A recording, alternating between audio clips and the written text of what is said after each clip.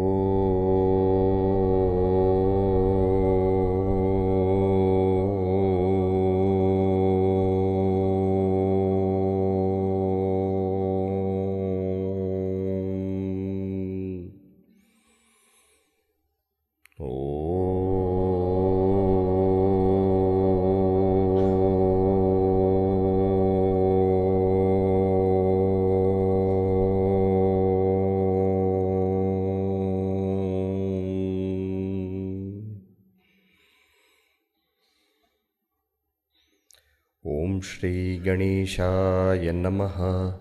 ॐ श्रीसरस्वत्यै नमः। ॐ श्रीगुरुभ्यो नमः।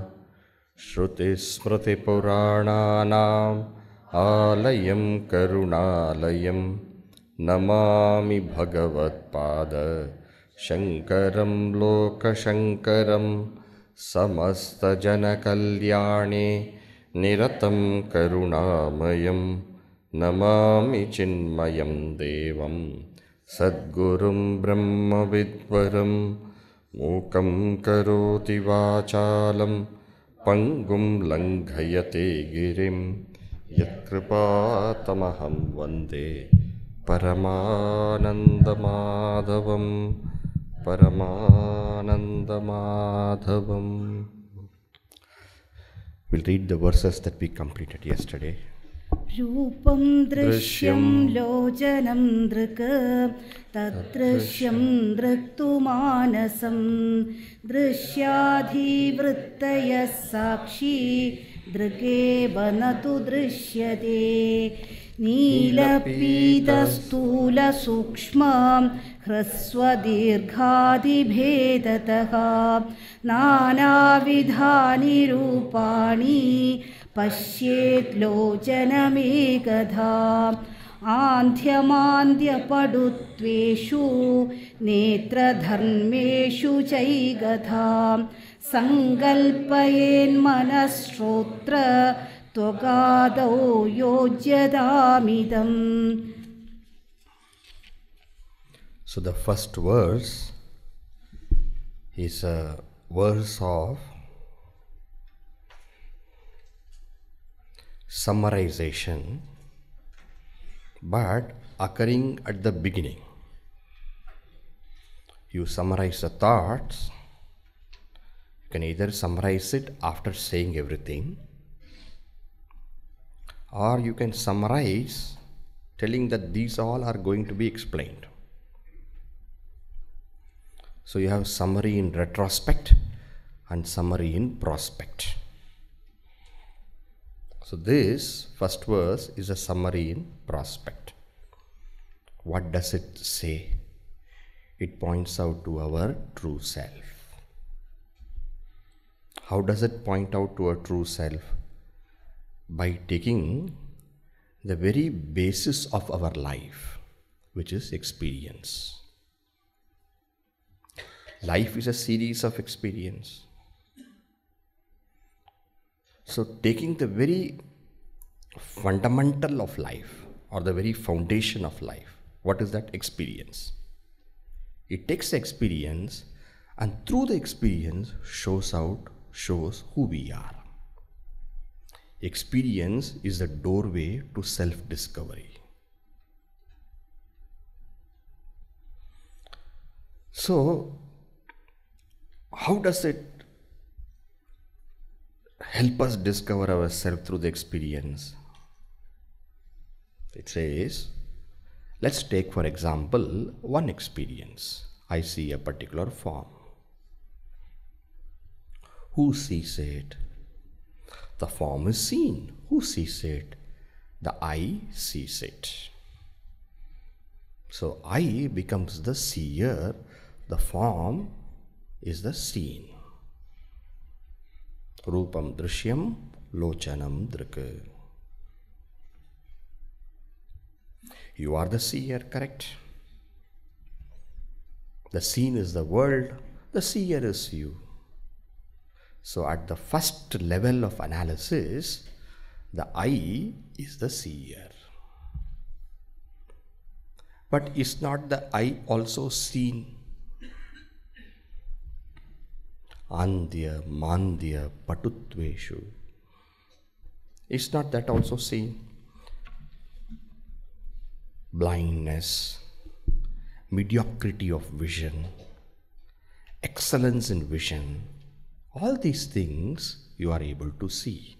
So, the eye, the conditions of the eye, the conditions of your visual power, which is eye. Visual power is eye in Vedanta. The faculty is eye. So, the conditions of the faculty also you are able to cognize, you are able to perceive. So the I is the drishya. And when you say, when you experience, it's not that when just saying. When you're experiencing I to be seen, the question is, who is the seer? Of course, it is a mind only. The mind only is saying through this thought structure, Sankalpayen Manaha. The mind has to start. My eyes are now developing problem. Oh, that's what they say at the age of 40 you require a spectacle. Who thinks all these things? It's the mind. Sankalpayet manaha. So, mind is a seer. Seer of what? Seer of the functionality of the eye, EYE. Okay. Then the mind also is seen. See, this is all our experience. Nothing is forced upon us. Vedanta, the beauty is that Vedanta is a explanation of our life. Vedanta is not the philosophy of life. Philosophy is what you put something here and there, you concoct something and put in the head, and then you say this is philosophy. Vedanta is just the explanation of our experience. Of course, that explanation provides also a deeper philosophy to live our life. That is secondary. Vedanta is first of all a crystal clear appreciation of who we are. And who we are is not a philosophy. Who I am is what I am. So, is not the thought also experienced? Mind is but a flow of thoughts. Thought is also experienced. Now, who experiences experiences a thought? Who illumines a thought? Who witnesses a thought? Who knows the thought? Who cognizes the thought? That is consciousness. Why do I say that is consciousness? Because that is just aware. That is just aware. That's why I call it consciousness. What do you mean, Swamiji? It is just aware. Drigeva. What do you mean by that? You see, when the eyes are seeing the object, the form, it requires the presence of light. So I can't see, I can't say that eyes just to see is inherently capable of seeing. It is capable of seeing on certain conditions. The mind is also capable of knowing on certain conditions. the eye should function properly, the ear should hear properly, the nose should smell properly, then the mind is able to know it correctly. Otherwise, the mind can know it wrongly also. But there's no question of Sakshi knowing it correctly or wrongly. There is no question of something assisting that consciousness to know. It just knows. It is self sufficient unto itself in the experience of knowledge. What did I say? It is self sufficient unto itself in the experience of knowledge. And that's why I say it is consciousness. It just knows. And the beauty of it is that it just knows, yes. But because it is consciousness, it is also conscious, self conscious, in a nice way. Self conscious, self luminous, self effulgent, self illumining, luminous. Now, this is also known, but this is known under so many conditions. Mind is required, eye is required, light is required, then this is known. But I know the thought how. Need light is required? No. It knows self sufficiently. That's what I mean by self sufficiently it is knowing. And therefore, it is of the nature of knowledge. When, when I say it is of the nature of knowledge, it is of the nature of consciousness, what I mean? It's inherently capable. That's why we call that alone consciousness. Bodhaswarupa.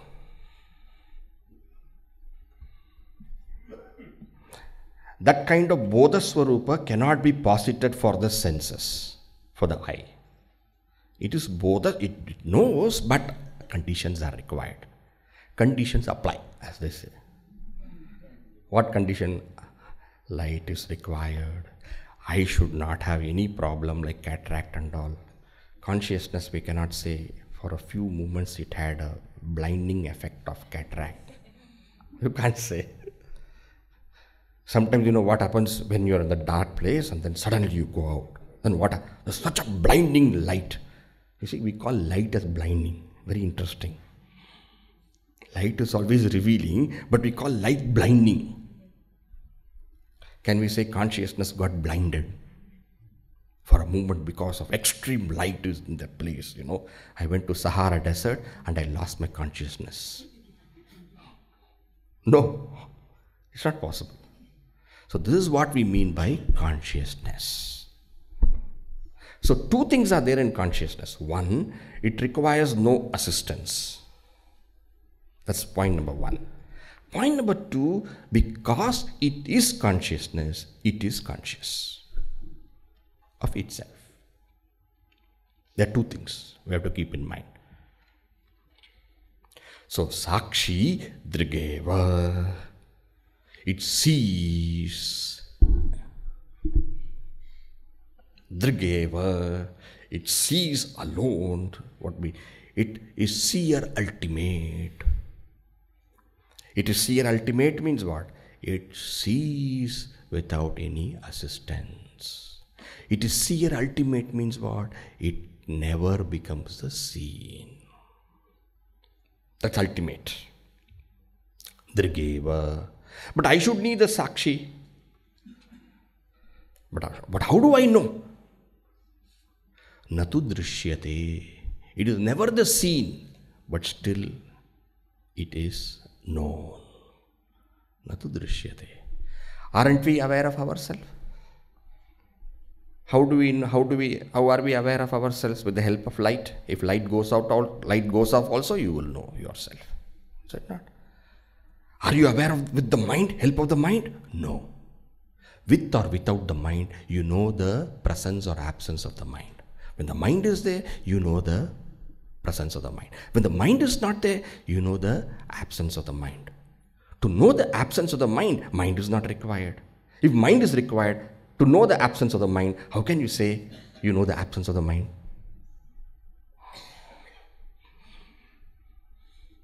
Requiring nothing by itself, it is aware of presence of abs- or absence of the objects and it is ever aware of its own self presence.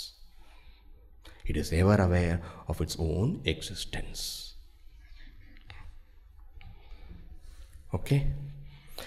So, in this first verse, bringing in all the important aspects of the self, the, the seer and the seen, Shankaracharya ji, or the author, let me put the author, proceeds forward.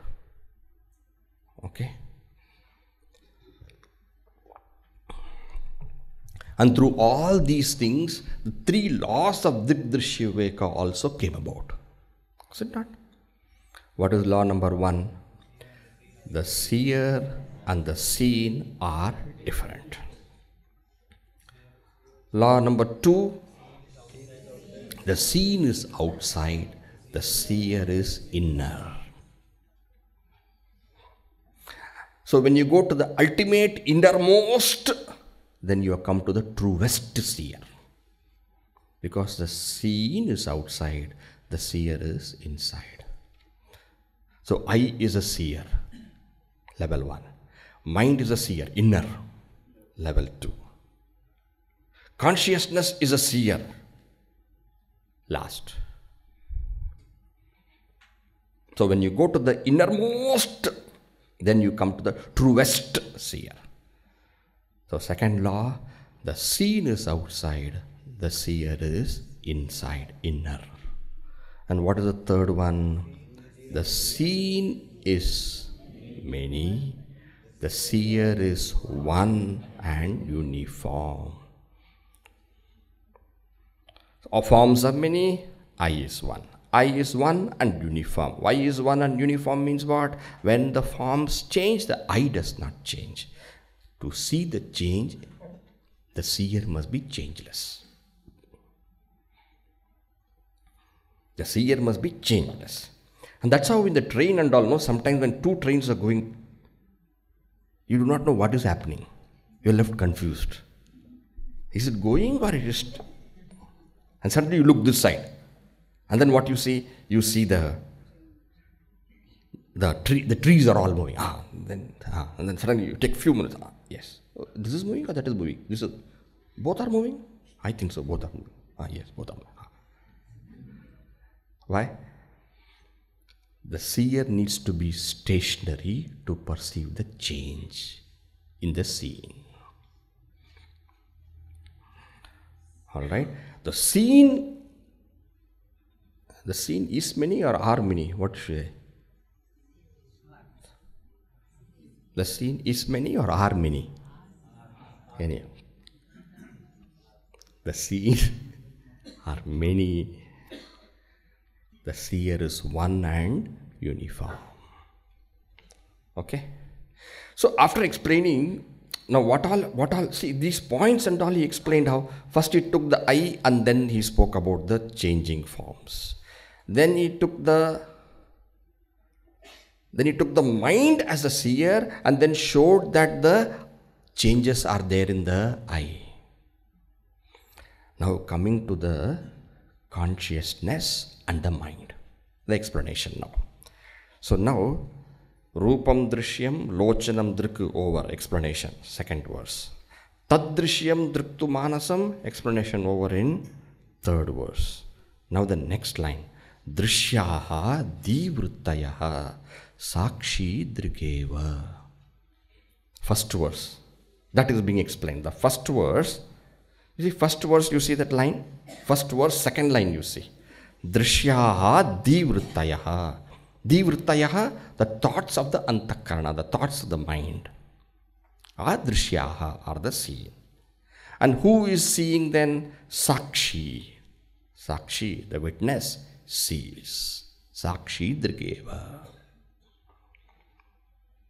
Okay, now let us read the verse 4. कामसङ्कल्पसन्देहौ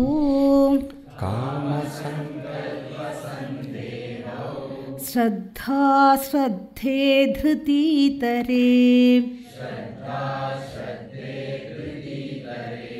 हृर्धिर्भिरित्येवमादीन् भासयत्येकधाचितिः।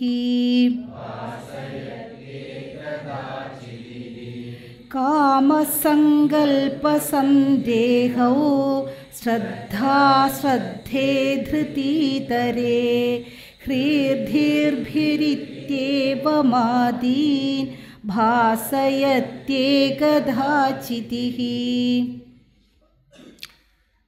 You see the there's a enumeration. Can you see? Kama, Sankalpa, Sandeha. This is enumeration. These are the various kinds of thoughts that we have. Kama. Can you yourself see whether you can track out the enumeration? What all is there? List. Kama, Sankalpa, Sandeha, Shraddha, Ashraddha. Good. Dhriti, what is after Driti coming? Itara. Itara means other than. So Driti means then other than Driti, meaning the opposite of Driti. See? Next, what is the next one? Hrihi. Next, Dihi. Then Bihi. Nice, no? Hrihi, Dihi, Bihi. Ityeva Madin. So there is no end to the enumeration. Ityeva Madin, many kinds of thoughts. When knowing the functionality of the eye, you can consider the mind to be one and uniform. But the mind itself is how? Many and varied as various thoughts. So that is what is said here. Kama. Kama is desire. Sankalpa. Sankalpa resolve. Sandeha, doubt. So you have resolve and then that becomes doubt. You see how it's changing. Then Shraddha. Shraddha is faith. Ashraddha, absence of faith. Dhriti, Dhriti is fortitude, persistence. Adhriti, lack of that. Hrihi. Hrihi is being shy. Sometimes we're shy about, you know, not very rarely, not sometimes. So Hri is being shy. Dihi. Dihi is what? Dihi is a thought about something. Thought about something. A thought of this kerchief. This is also a thought. Dihi or a thought of something you see. Dihi. Bihi. Bihi, fear.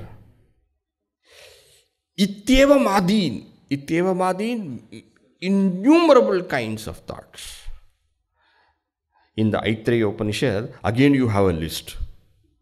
Anybody has studied Aitareya Upanishad? You have a list. Samjnanam, Ajnanam, Vijnanam, Prajnanam, Medha, दृष्टि धृति मति मनीषा ज्योति स्मृति संकल्प क्रतु असु काम वश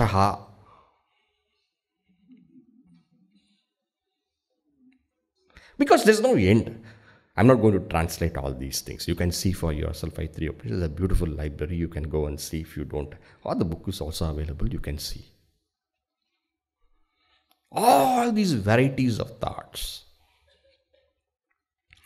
So, Kamaha, Sankalpaha, Sandeha, Shraddha, Ashraddha, Dhriti, then Adhriti, Hrihi, Dihi, Bihi. Why Shankaracharya is telling it this order? Or why is he using these words? Those who study the Upanishads would be aware that this is a statement direct from the Brihadaranyaka Upanishad. See, Prakarana Granthas, this is a Prakarana Grantha. Prakarana Grantha, elementary text, general translation you can give. Elementary text is supposed to give the essential truths of the basic original text. I don't know, when you were students, I don't know whether you used something called as notes. Have you? What, what notes? There is a book which is called as Notes. I remember. Tamil, you know, uh, my mother tongue Tamil. So there used to be uh, Konar. Guide, ah, guide. Have you used those books? Huh? And the parents, you know, good teachers and all would say, don't use guide, study the original. And the teacher also goes to the. because very nice, no question, answer. Otherwise, the whole thing goes like a lesson. We do not know what is the question, what is the answer. Is it not?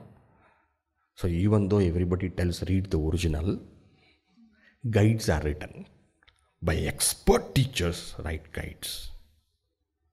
Right? So, Prakarana Granthas are like those guides. And what should be there in the guide? The guide, the book, in the, the writing in the guide, the teacher should not write something else which is not there in the main thing. The main works are the Prasthanatraya. Upanishad, Bhagavad Gita, Brahma Sutra. So from that, the expert teachers, they take and write for brilliant students.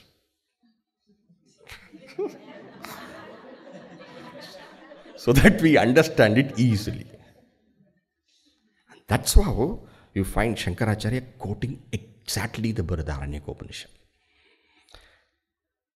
Is there somebody who has not heard that there is an Upanishad by name Brihadaranyaka? Is there somebody who is not here who know, who does is sorry is there somebody here who does not know that there is an Upanishad by name Brihadaranyaka Upanishad? Yes, it is time you know now. Why? Whatever quotation you have not heard, they are all coming from Brihadaranyaka Upanishad.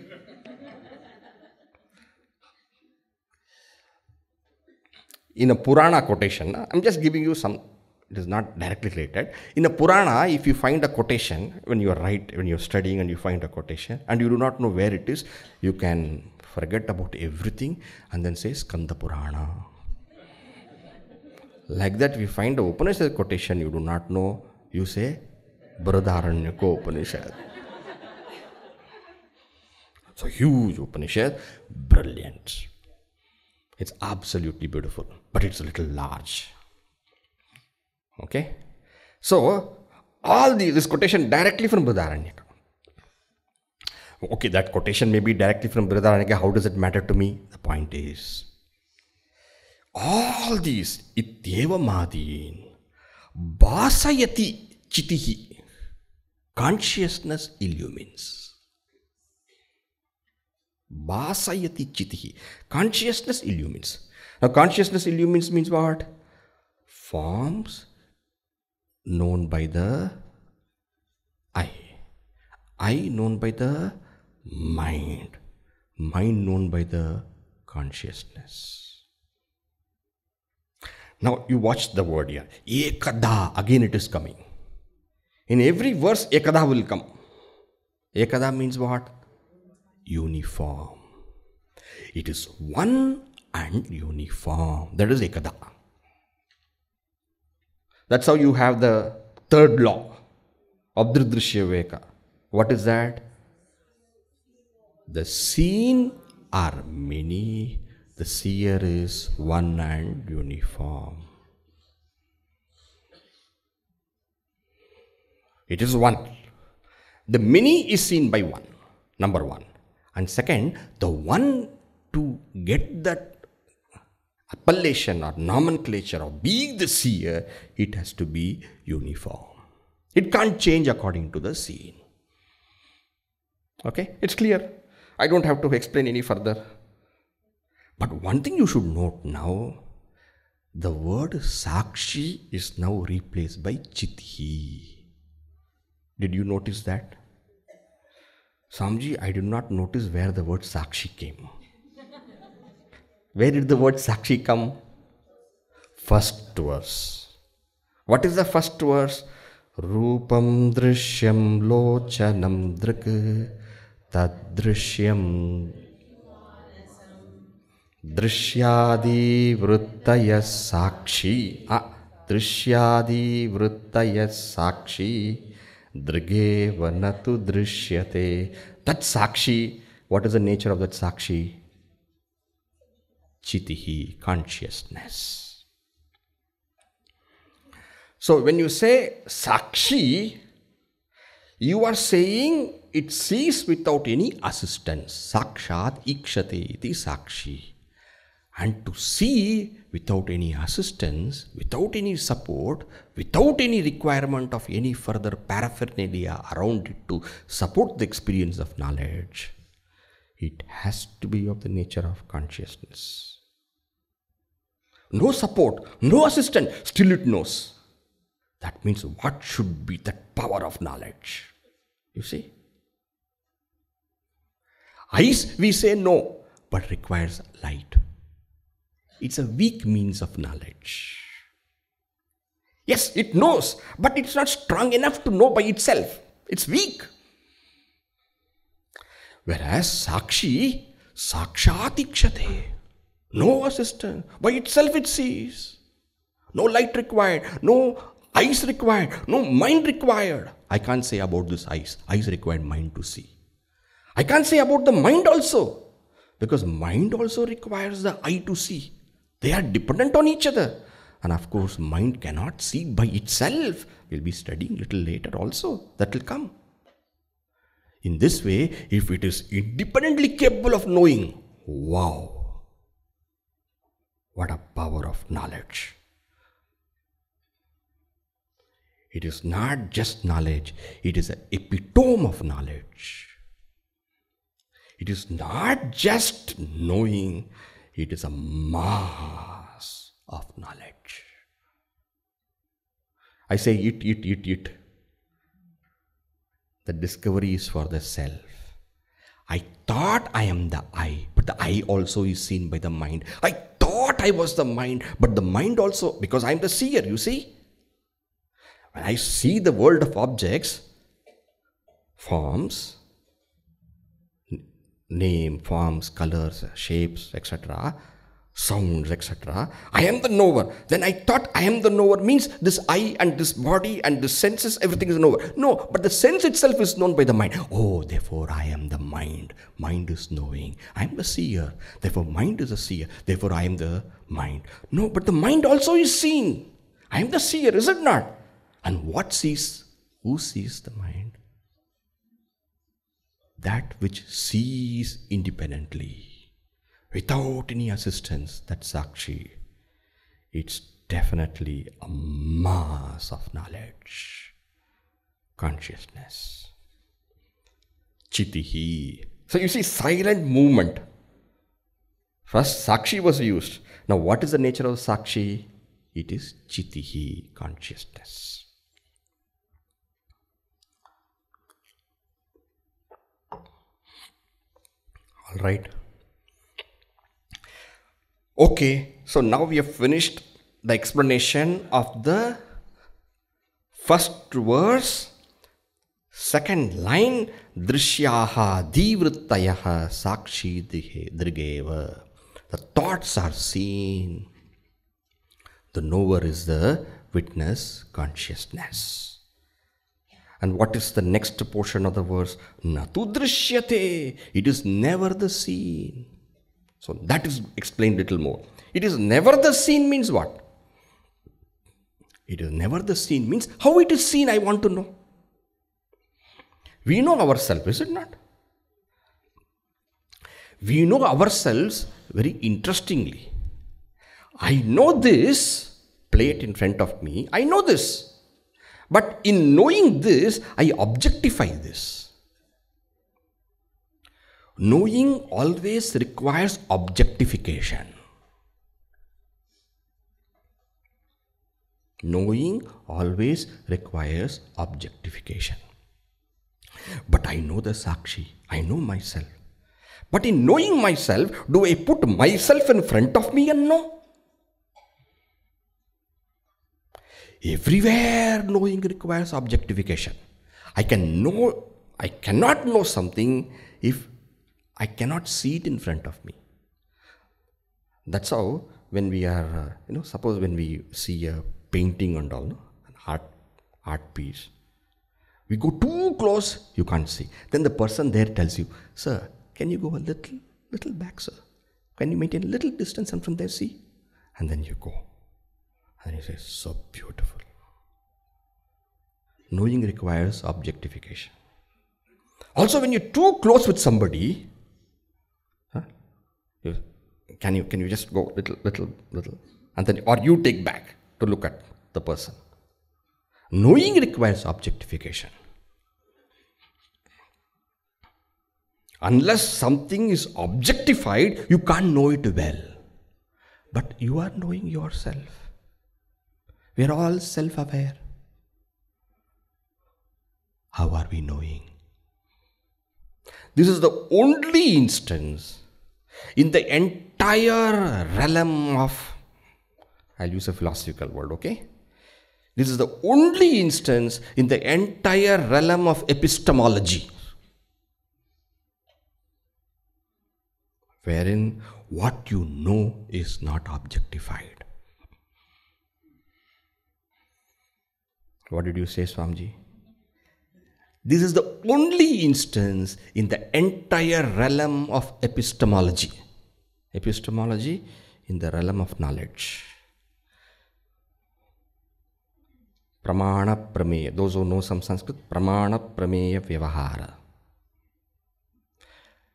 This is the only instance where you know something without objectifying. If you want to say, this is the only instance where we know something not by objectification but by subjectification. There's no word in English. In dictionary, you will not find the word subjectification. But philosophy demands these expressions. Without objectifying, how do you know?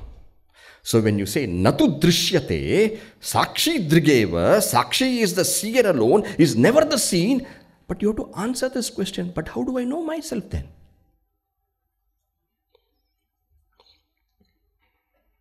So how do I know myself? This is taken up in the next verse, verse number 5. And at the same time, this also explains what do you mean by uniform? We say one and uniform, is it not? Without changing. We say without changing. What do you mean without changing? Explain to me how what you mean by uniform. One I understand, it's one. But what do you mean uniform? Number one. And second, you say Sakshi is not known, but I know myself. Explain how. These two are taken up. Verse number five. नोदेति नास्तमेत्येषाम्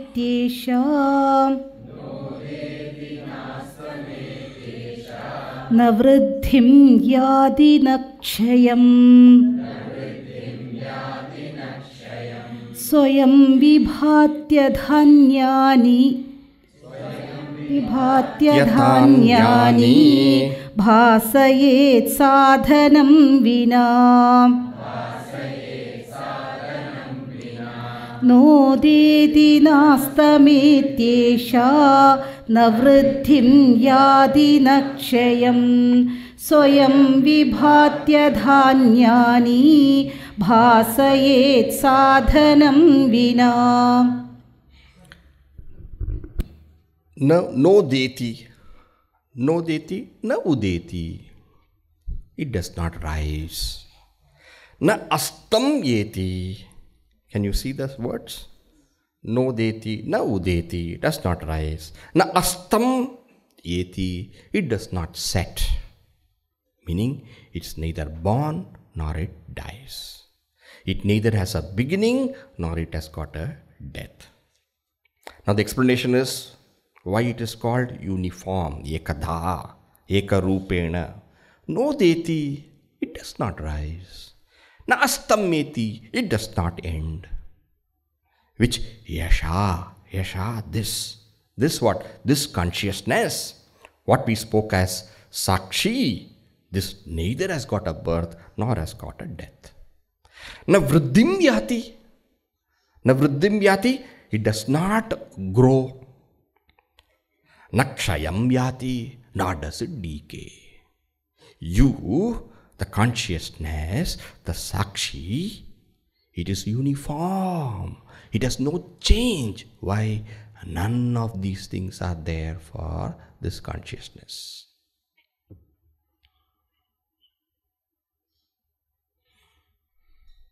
Objects form, thoughts, everything will have a birth and death. These, what you find here birth, death, vriddhi, growth, kshaya, decay, these are representative of the six modifications. Some of you must, go, those who have studied Tattva and all, will know this. What are the six modifications? Jayate, Asti, Vardate, Viparinamate, Apakshiyate, Vinashyati. Iti Shadvikara. These are the six modifications. I'll give the translation also. First, first the Sanskrit one. What are the what are the Jayate, Asti, Vardate, Viparinamate, Apakshiyate, Vinashyati. Six. Samji translation please. Jayate, born. Jayate. It's born. But the moment it is born, it doesn't disappear. It stays. Asti. That is the second one. This is a famous uh, line from the Nirukta of Yaska. Nirukta is Vedic etymology. So there's Yaska, very great, maybe 2000, 2500 or 3000 years back. Yaska has written a beautiful book on etymology of Vedic words. There he discusses what are the six modifications of all objects and beings. And there he mentions this. And then it has come, the tradition, in so many places. Tattvabodha you find. Even Brahma Sutra it is taken up. So what are the six? First, born is born. So birth is the first one. After birth, if something, you know, there is a, after birth, there is a time when it just is. The child is born and child is, and then what? Grows. Jayate asti. Then vardate, grows. Jayate asti vardate. And then after it grows, after it attains its maturity, then what happens? Staying in that maturity, there occur some changes. the stomach comes forward.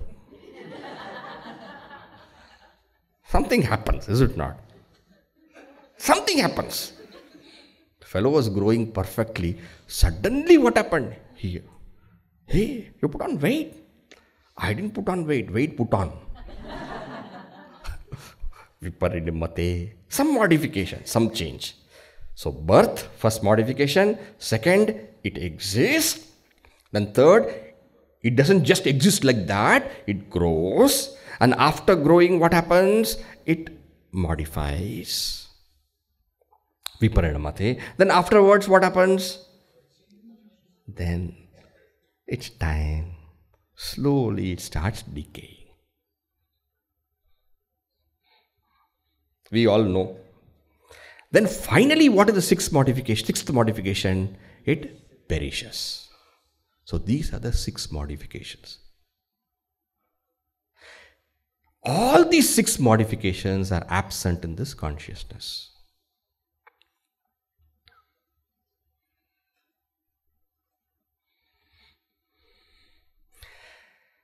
Na udeti, na astameti, it is not born. It does not die. So first and last is gone. Okay? Jayate is gone, Vinashyati is gone. First and last is gone. Now Vruddhim. Now Vruddhim it doesn't, it doesn't grow. Nakshayam, it does not decay. What is missing now? Two things are missing. What is that? Asti, it, it is born and it exists. That is missing. And what is the next one missing? Next one? Modifies. Viparinamate is missing. So this method whereby a few is mentioned and the rest is left for us to add is called in Sanskrit Upalakshan. Upalakshan. The main things are mentioned. And then what is said? Add the rest. So, by these four, all the six are included.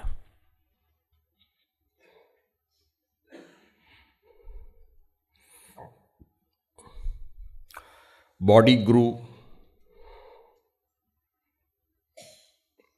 mind also grew, but you, the witness, the illumining factor, the consciousness of the body remained as it is.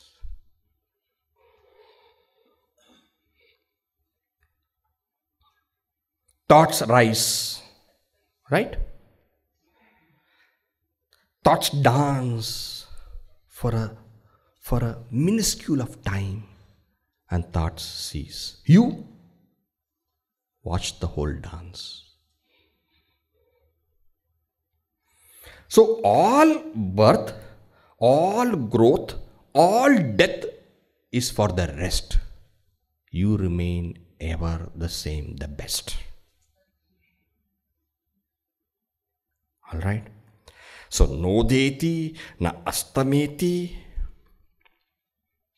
na vriddhim na kshayam. No change is there. Before the thought, also you were there. After the thought, also you are. Experience.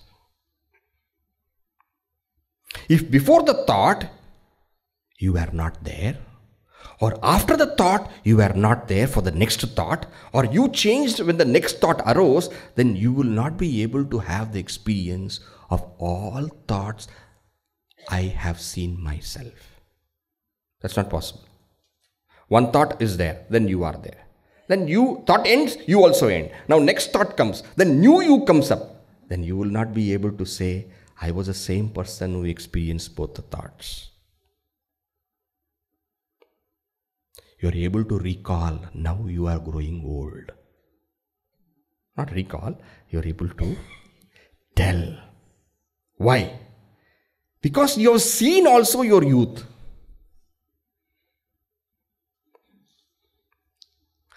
That's what happens, no? Usually when they say the show the photographs and all. Sometimes they put us in such a. Can you find me out? You look at the fellow grown up, so tall, fat, and all those things. And then he's saying, he's showing his first standard, second standard. Uh, can you find me out? I can't find you out, but you can find yourselves out. Why? Because you remained changeless. So all changes are happening continuously at the level of the, of course, the world of objects, of course, at the level of the senses, of course, at the level of the mind. But how is your experience of yourself? You have remained always without any change. Ekada. And that is why it is also called Sakshi. Swamiji, that is why also called Sakshi. First we said what is Sakshi? Sakshat ikshate iti Sakshi. That which sees without any dependence. That which is self-sufficient unto itself to know. That which does not require a medium to know. Any other paraphernalia to know. That is called Sakshi. One. Second, what is Sakshi? The word Sakshi also means witness. What is witness? Witness is that which doesn't change by what it knows. Witness is that which remains distant from the happening. When you say distant from the happening means what? An accident is there. And some accident is there, so many things have happened in the accident. And who is the witness? The witness is one who's distanced. When we say distanced, what we mean is one who is unaffected. An unaffected knower who can who has experienced the whole thing is called witness. Correct? In the court, when they call the witness, what is witness? He's not part of the accident. He was away from the accident. So he is distanced, number one, and he does not have any connection, who's unaffected, and one who has seen everything. Not partially, he has seen everything. So, witness has to have these three characteristics to be called witness one, distant, two, unaffected, and three, has seen all.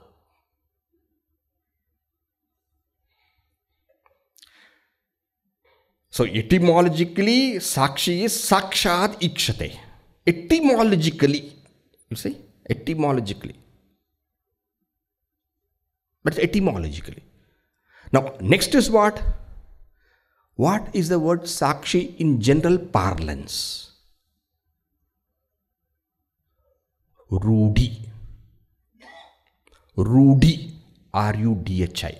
General parlance. Etymologically, yogika. Yogika. How the words have combined together and give a particular meaning. Sakshat, Ikshate, iti Sakshi. This is called yogika. The words combining and then giving a very specific meaning. And therefore, through the etymological, through the yogika, the etymological meaning, what does the word Sakshi tell you? The word Sakshi tells you that which is a self sufficient knower. But the word Sakshi in general parlance, Rudhi, means witness. That's how always you will find the translation of Sakshi is witness, witness, witness, is it not? When you say witness, what you mean? You mean these three things distanced, unaffected, and has seen all. Yes, sarvagnya sarvavidh, yasya jnanamayam tapaha. Sarvagnyascha. You see it had come in Harimide Stotra. This is called as Sakshi. So what does the first line tell you? The first line tell you tells you number 1 it is unaffected it is uniform that is why it is sakshi witness. That aspect is brought out here. Then comes the question how do i know? How do i know this? My experience is i know myself. How do i know I am not putting any light upon me to know myself. I am not turning my eyes inside to know myself. I am not making my mind go inward to know myself. I just know myself without any assistance. Is it not? How? I just know. This is a unique experience of all of us. It's not that the way you know yourself and the way I know myself is different. Each one of us here, even though we are all different, different people, we all know ourselves in the same way. Just know ourselves. How? Swayam Vibhati. Swayam Vibhati, it is Swayam by itself. Swayam Vibhati. Vibhati, Bhati means shines. Bhati means shines. That's all I can say. Bhati means shines. Vibhati, Vispashtam Bhati. Vispashtam, Vispashtam, clear. Nobody can hide it. This one is there, and then suddenly I bring this one in front of me. Then what happens? I don't see the plate at all. Gone. Why? It can be hidden.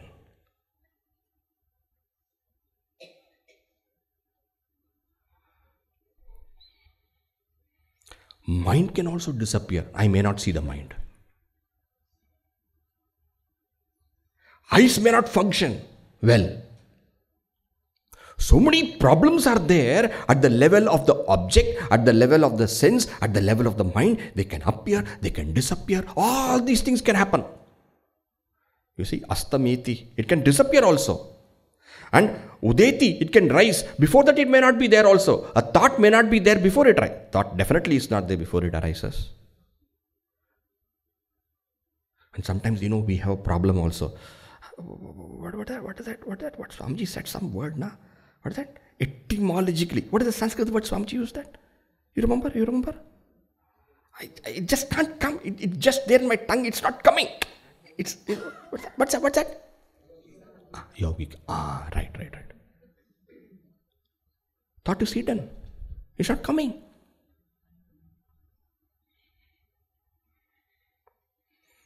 What did you have for yesterday breakfast? For a moment, it is not there. It's not there. Na udeti. You see? It can be hidden. It can disappear from your cognition. You can lose sight of it. You can forget it. You may vaguely remember it. You may strongly remember it. All those possibilities are there. But with consciousness, none of these options. So boring. Swayam Vibhati. It just shines. Swayam by itself. Swayam Vibhati. Nothing is there in the world which can be given as example for this. Nothing in the world is there you can. No Swamiji. Don't say there's no example. Sun is example, Swamiji. Sun is Swaprakasha. Yes, this kerchief, what you have, you need light to see. But sun, you don't need any light to see, Swamiji. It is self lit. Is it true? Is it true? Yes, Swamiji, sun shines. Stars have their own light. Planets have borrowed light. Satellites have borrowed light. What is the definition of star that we study in our school? If you remember. What is the difference between stars and planets? Stars are self lit. Oh, oh, oh. What stars are self lit? Yes, star does not, sun does not require light to see it. You don't have to put a torchlight to see the sun, but you need eyes to see. A person who is visually challenged, what we say, blind person, a blind person, uh, can, can we say blind person does not see the self? No. No challenge in the physical, in the mental can prevent you from knowing yourself. Thank you. No challenge. No difficulty can arise in self cognition. What a beauty. You are bright, you are dull, it makes no difference. You are learned, good. You are ignorant, no difference. You are a Malayali,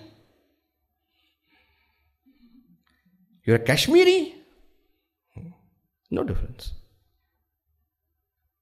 You are a Hindu, you are a Jew, no difference.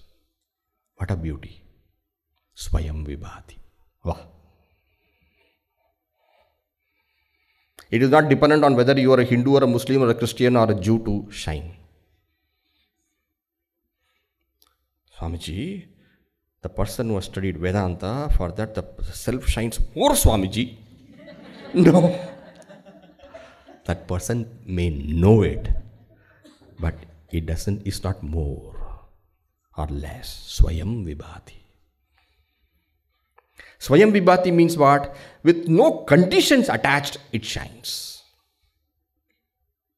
You are self sufficient unto yourself to know yourself. Take the opportunity to know it. It depends on no other factor. What a beauty. Swayam Vibhati. And then what? Not only that, it is a mass of consciousness. These words are all poor, you know, mass and then this and that. They are all making the consciousness objectified. You cannot use poetical words. Poetry has got a power to push you beyond where the prose can take you. That's all poetry can do. But the final experience is neither poetry nor prose. Yato vacho nivartante aprapya manasasaha, where words recede along with the mind. Swayam vibhati, meaning no indriya is required, no mind is required, no external uh, presence of something is required, it self shines. And being this way, this consciousness, atha, atha means therefore. Why therefore? Because it is consciousness, therefore.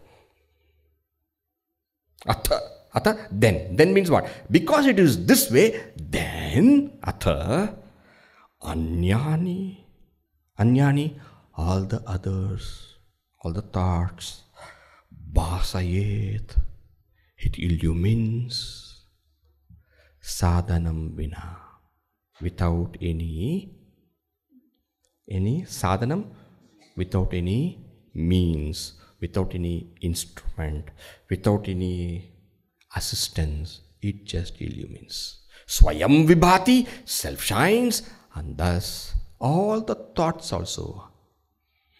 Anyani bhasayet, it illumines. Sadhanam vina, without any assistance. You can't say that about the eye, it requires light. You can't say it about the mind because mind also requires the presence of consciousness to do. But this consciousness self illumines and illumines everything without any need for any assistance by any instrument. So the first portion, nodeti nastameti yasha na vruddhim yati nakshayam, indicates ekadha, being unaffected.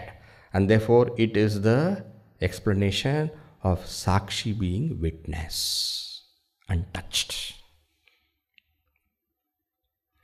Whereas the portion Anyani Bhasayet Sadhanam Vina is an explanation of Sakshi based on its etymology, Sakshat Ikshate. Both are covered. This is for people who already have studied something. Both are covered here. One is the Yogika, another is the Rudhi. Swayam Vibhati explains Na drishyate. It is never the seen. But how do we know it? It is self luminous. Okay. Swamiji, so much time, Swamiji, for this verse. This is one of the most important verses of this Drishyavik. Okay. So, shall we chant this verse once more together? नोदेति नास्तमेत्येषा। क्षयं स्वयं विभात्यधान्यानि भासयेत् साधनं विना। Okay topic one over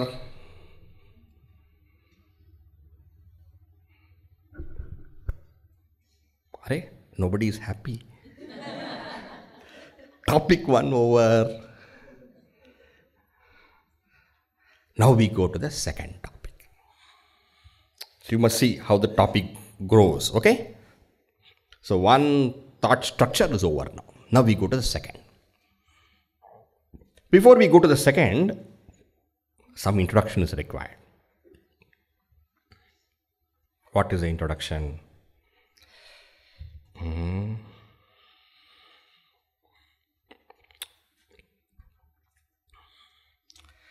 First, Sakshi is consciousness. Whereas senses, of course, body, body, senses, mind are not consciousness. Wow, Swamiji. What a discovery. Sakshi is consciousness, and other than that, everything is not consciousness means what? Inert. Now the question comes if it is inert, how are they knowing? We say Rupam Drishyam Lochanam Drik. So, what eye is knowing?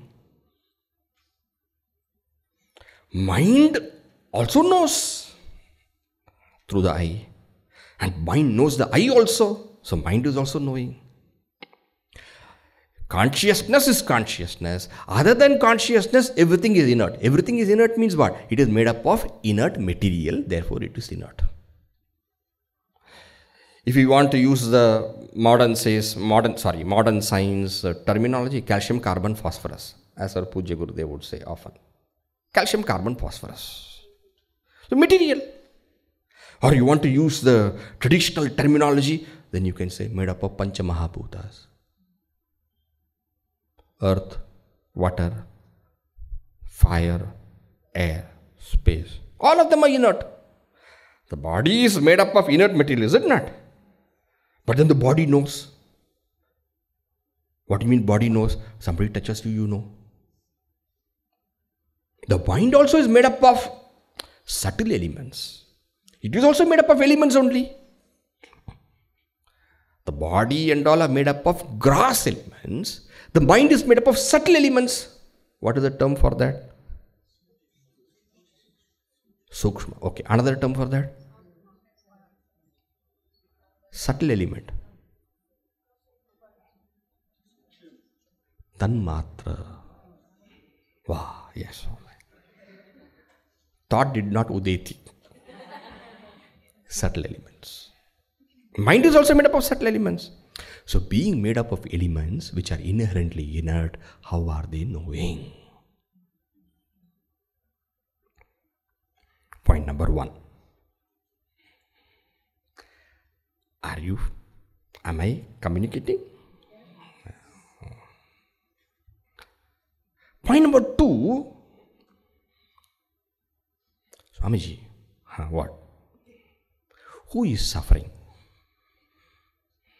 My main point you are forgetting. Who is suffering? Meaning, what are you asking? Who is going through the ups and downs of life? I want to get out of it. Samsara, ups and downs of life. Samsara, it is called samsara. Ups and downs of life, where do we experience? In the various states of our consciousness, waking, dream, who's going through the waking state, dream state, deep sleep state, and experiencing the ups and downs of life. What a question you're asking. You only, no, I want to know who is that you? Who is that I? I want to know. What is the big difficulty about it? In the waking state, the body and the mind goes through it. In the dream state, body is not there, the mind goes through it. In the deep sleep state, the mind also dissolves. So actually, body, mind only are going through the waking, dream, and deep sleep states. What is so difficult? Somewhere body is there, somewhere mind is there, somewhere body and mind are there together, somewhere mind alone is, somewhere mind alone is not there. So who is going through all those things? All these equipments only, na? Body, mind. No, no, that is okay. I understand. My question is deeper than that. Okay, what is your question? See, body is not me. No? Mind is not me. But I feel I am going through waking, dream, and deep sleep states. Who is the I which is going through all these? Not Sakshi. Why? Sakshi is just watching all these. Witness. But body, mind are going through. Huh, body, mind are going through, but body, mind is not I. But why do you say body, mind is not I? Rupam drishyam, lochanam Form is seen, I is the seer. I is the seen, mind is the seer. Mind is the seen, consciousness is the seer. So all these things are seen, they're not me. But consciousness, which is I, cannot go through all these things. Why? It is a witness. So, consciousness cannot go through the ups and downs of life because it is a witness. Mind, intellect, body, and all are going through ups and downs of life, but it is not the I. My experience is I am going through the ups and downs of life. Samsara does not fit the consciousness. Samsara does not fit the body mind. Who has got samsara? Who has got samsara? Who has got the ups and downs of life? Don't say who has got samsara. All married people in some language. Wife is called samsara. In Tamil, wife is called samsara. Therefore, who has got samsara? A married person will say, This is my samsara. This is my samsara. Those, this is my samsara means what? This is my wife. But Swamiji, this is a very, very bad, Swamiji. Why are they calling wife samsara?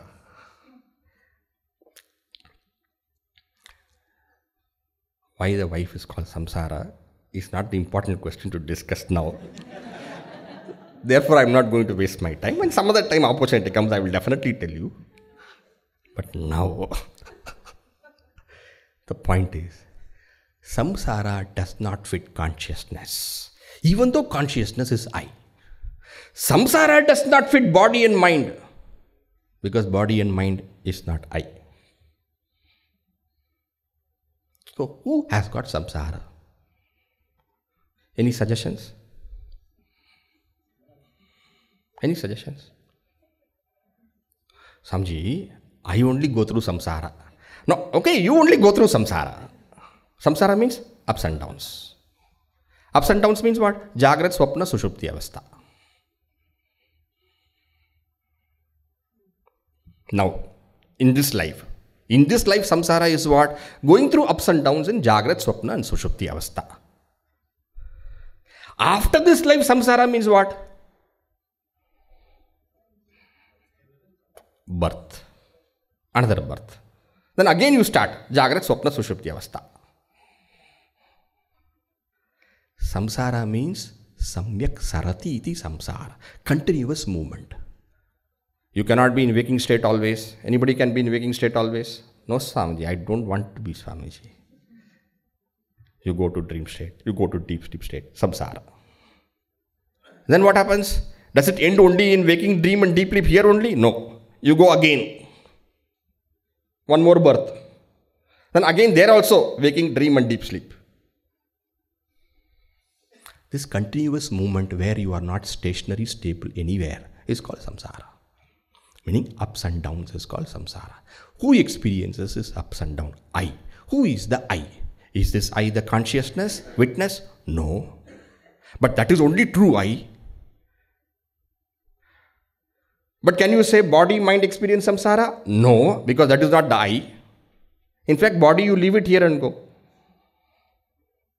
Next, another body is taken. Can you say mind is experiencing samsara? Mind is also inert. Inert cannot have any actual experience, and moreover, inert cannot claim experience for itself. There has to be an I at the realm of the inert also to claim the experience of samsara. Who is that I?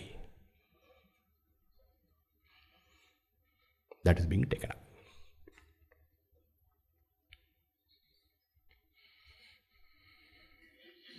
Okay. So now begins the second topic.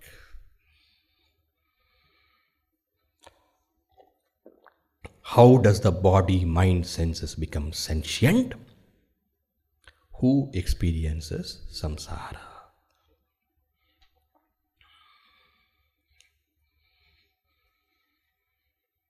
Okay. We'll take up this in the next session.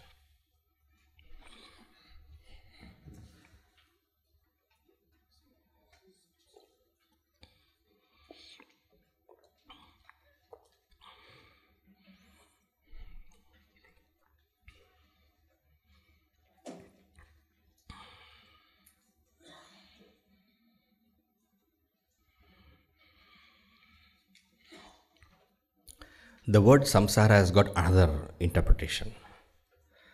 That which is samyak sara is samsara. Samyak sara, that which is a true essence, is called samsara. In Grihastha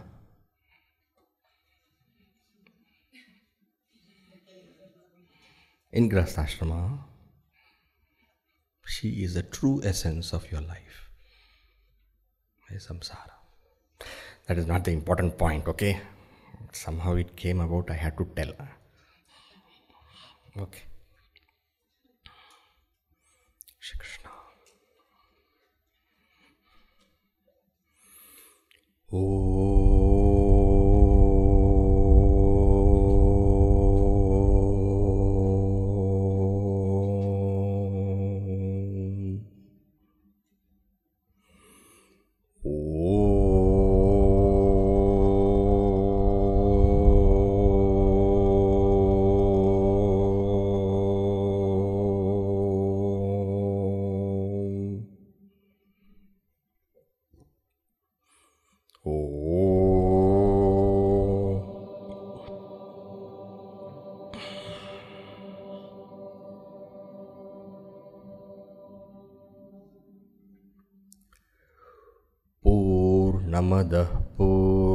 पूर्णमिदं पूर्णात् पूर्णमुदच्यते पूर्णस्य पूर्णमादाय पूर्णमेवावशिष्यते। ॐ शान्तिश्शान्तिश्शान्तिः हरिः ॐ श्रीगुरुभ्यो नमः। हरिः ॐ।